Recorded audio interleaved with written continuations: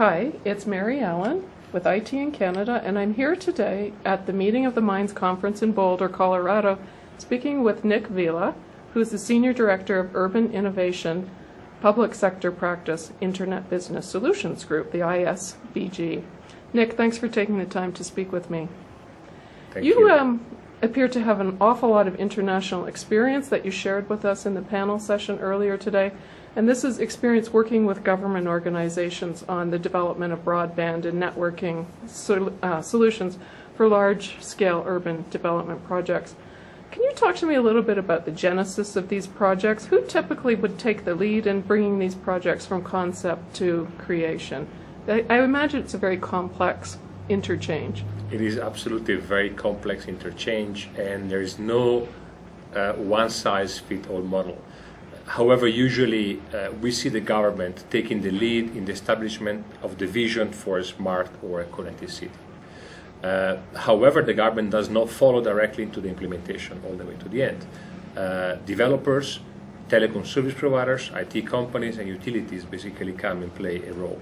So it's quite uh, difficult in many ways upfront to understand and to and to determine who's going to decide what, when, and where, who's going to pay and monetize with which type of investment. So we look at the city as a sort of organic uh, uh, construction, and in many ways, uh, the challenge that we all have is to collaborate and to swarm around those uh, visions that the government creates and be able to execute quite effectively.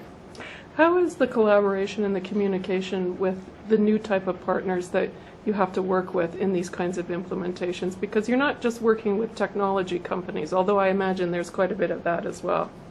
So there's two scenarios. One is when we work with other technology companies in the IT and the non-IT world, and we seem to be finding each other quite quickly in terms of language, in terms of culture, Right. but also in terms of business objectives. Right. In many ways, the challenges come when we start working with NGOs and governments and academic institutions who have, first of all, different objectives, but also different languages and different cultures.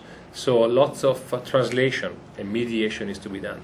Some cities have taken it to a very innovative uh, uh, process by developing some sort of uh, special purpose vehicles. Organizations like the Amsterdam Innovatie Motor in Amsterdam, who basically are mediating and provide a neutral ground for companies, academics, government, and the people to come together and to innovate with uh, uh, future-proof projects. Okay. Um, how important is IT innovation to the creation and execution of sustainable urban design? I'm asking if you could, for a minute, think about the city of the future and what technologies do you think will be absolutely critical and really transformative? Now, first of all, uh, information technology has become uh, a fundamental element into the design of the sustainable city. Until five years ago, you could design uh, a sustainable city keeping the network and IT as an afterthought. At this moment, you cannot do this otherwise, if not for the fact that the network allows you to rethink where people work, live, play, and learn. So the network has an impact on, uh, on urban design, and it's quite heavy. Um, can we think a minute for the challenges that you face in implementing smart and urban connected communities? Is the problem lack of vision? Is it lack of greenfield opportunity? Is budget? What are the chief stumbling blocks and, and how can you overcome these? I think in collaborating uh, with the government, the business world has become to a very consolidated view of what the vision should be. So vision is becoming less of a problem. Everybody agrees on what the city of the future will look like. On an execution perspective, we have quite a few technology solutions which are already available on the market. The issue is the strategies in between, the governance model, the financial models on how the, all the parties, pu- public and private, come together and invest into those type of, uh, of programs. So the lack of a blueprint on how to move from vision into execution is probably the biggest inhibitor today to innovation from a smart city perspective. Okay.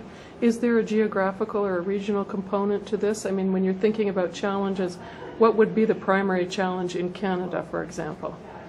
I think Canada, as much of the uh, Western world, faces a challenge in terms of being able to uh, combine and blur together all of the legacy systems from a technology, urban infrastructure, and political point of view, which overlay on top of each other for the last 50 years.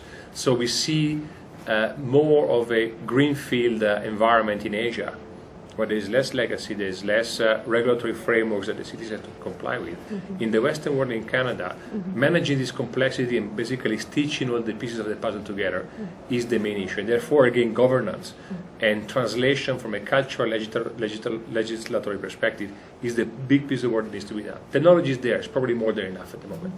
I would imagine there would be more need to retrofit, or there might be more entrenched interests in a place like North America that maybe is uh, an issue for, you know, new project planning. Sure. If you look at the difference between a brownfield uh, or an existing city environment in Canada and a greenfield in China, uh, the opportunity in China is to basically apply a top-down design process and basically design all the utilities at once and make sure that the network, the IT network, basically touches all the other infrastructures.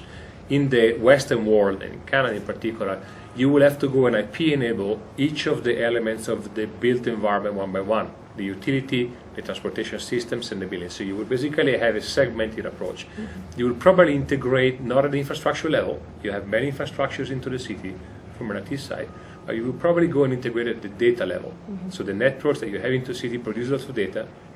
It's easier to blur those, those data together and create intelligence than to basically try and consolidate different networks, which have been overlaid on top of each other for the last 20 years. Okay, good, good answer. Actually, I had a lunchtime conversation about that. Um, my last question is about energy, and um, I'm thinking about the smart and connected community of the future. It's uh, heavily instrumented. There are tons of sensors. The network is really, you know, the lifeblood. Um, and this is all necessary for these ubiquitous networks. So, how do you weigh the energy impact of this increased use of IT against the overall goal, if you're talking about sustainability, of using IT to reduce carbon emissions? What's the calculation that you would make there? Now, we didn't make the calculation. There's a number of reports out there. Probably the most uh, famous and compelling one is called Smart 2020, which was created by the Climate Group.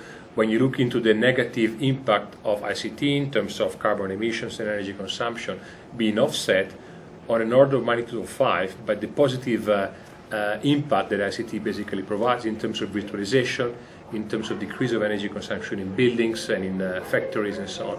So IT, yes, is a uh, energy consumption source, but is also probably the only infrastructure into a city that touch all the other ones and make them smarter. Transportation systems become intelligent, buildings become energy efficient, grids become smart. So that's basically the way in which, from a Cisco perspective, we're looking into the network becoming the platform for sustainability and innovation. Thanks very much for your insight, Nik. I really appreciate it. Thank you.